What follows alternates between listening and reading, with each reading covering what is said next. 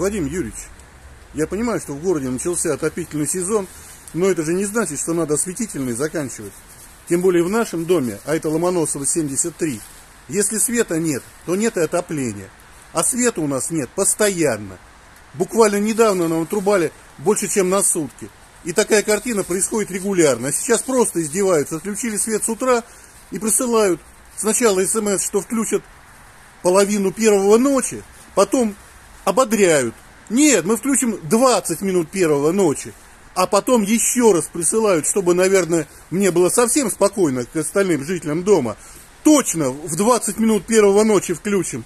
Спасибо за понимание. Вадим Юрьевич, вы городом управляете? Вы отвечаете за что-то. Я понимаю, что это Россети. Вы скажете, это же не моя ответственность. А чья? Вот Россети в Москве, а вы здесь, не выбранный никем, но руководящий городом мэр. Вы собираетесь за что-то отвечать? Например, за свет в моем доме, который отключают каждый месяц и надолго. Можно прекратить издеваться над нами и решить эту проблему?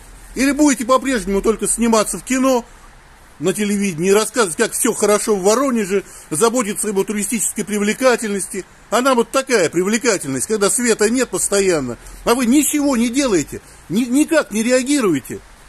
Что вы за мэр?